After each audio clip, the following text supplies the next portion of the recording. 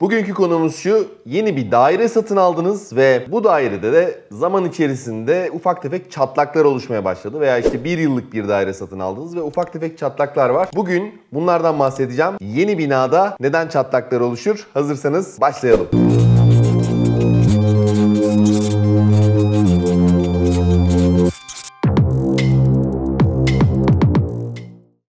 Yeni bir daire satın aldınız veya daire bitmek üzere daireyi geziyorsunuz veya kiralayacaksınız ve dairenin bazı bölümlerinde çatlaklar gördünüz. Tabi bunların duvar çatlağı mı, taşıyıcı sistem çatlağı mı yoksa sıva çatlağı mı yoksa boya çatlağı mı sadece olup olmadığını bilmiyorsunuz tabii ki. Ve tabii ki endişe ettiniz. Tabii yeni bir binada da çatlak oluşmasını açıkçası beklemiyoruz. Bu arada bu videoyu depremsiz durum için anlatıyorum. Depremli durum zaten farklı bir konu. Orada hasar tespitlerinin yapılması gerekiyor. Oradaki durum yani orada ele alacağımız şekil daha farklı bir şekil olacak. İlerleyen videolarda ona da yine değinmek istiyorum. Ancak bugünkü konumuz depremsiz durumda oluşan çatlaklar ve yeni binada oluşan çatlaklar.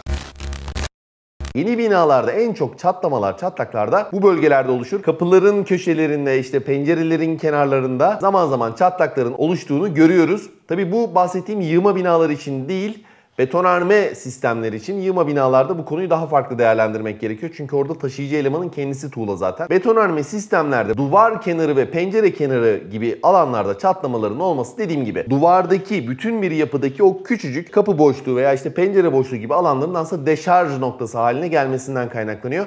Tıpkı fayanstaki derzler gibi. Tabi bir de şunu da unutmamak lazım. Kapılar ve pencereler hareketli alanlar. Yani kapıyı açıp kapatıyorsunuz, işte pencereyi açıp kapatıyorsunuz. Bunlar da tabii ki çatlakları tetikliyor mu? Tabii ki tetikliyor. Tabii her çatlak bu kadar masum mu? Değil. De oturma çatlaklarına bakalım. Şimdi şöyle düşünelim. Her katı 300 metrekare olan 5 katlı bir bina hayal edelim. Bu binanın ağırlığı sizce kaç ton olabilir? Ben söyleyeyim temeli dahil, hareketli yükleri dahil, sabit yükleri dahil yaklaşık 2500 ton. Yani binanın yapılacağı zemine 2500 tonluk bir yük getirecek bir bina inşa ettiniz. Sizce zeminin buna tepki vermemesi mümkün mü? Tabii ki değil. Zeminde bir miktar sıkışma ve oturma görüleceği aşikar. Tabii oturma dedik ama oturma bekliyoruz. Oturmadaki buradaki problem şu olabilir. Eğer temel düzgün bir şekilde oturursa bir problem yok. Tabii oturma sınırları içerisinde. Ancak temeldeki özellikle farklı oturmalar işte bu biraz sıkıntı. Biraz değil gerçekten sıkıntı.